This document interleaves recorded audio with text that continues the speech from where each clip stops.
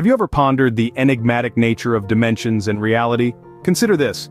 What if the world as we know it is merely a shadow of a more complex, higher dimensional reality? This isn't a page from a science fiction novel, but rather a window into the fascinating world of mathematics and geometry.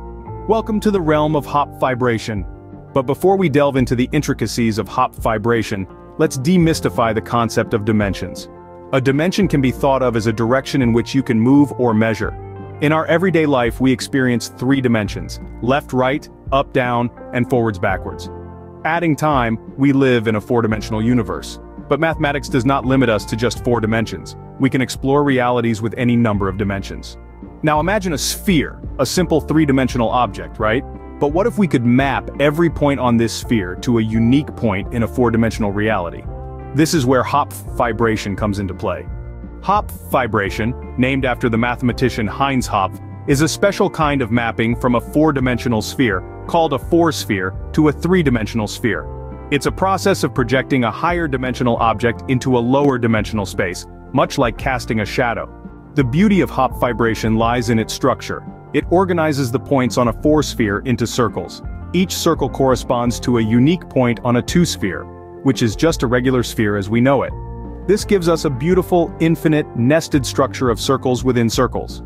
But how does Hopf fibration fit into our understanding of the universe? The answer lies in quantum mechanics. In the strange world of quantum particles, Hopf fibration helps describe the possible states of a quantum system. It may also play a crucial role in our understanding of the universe's most fundamental aspects, such as string theory and quantum gravity. Let's recap the key points about Hopf fibration. It is a mathematical concept that provides a unique mapping from a four-sphere to a three-sphere, creating a beautiful infinite structure of nested circles.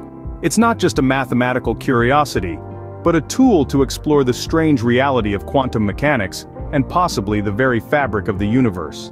In the end, Hopf fibration is a testament to the power and beauty of mathematics. It shows how abstract mathematical concepts can provide profound insights into the nature of reality. So, the next time you look at a simple sphere, remember there's more to it than meets the eye. It could be a shadow of a higher dimensional reality, waiting to be explored.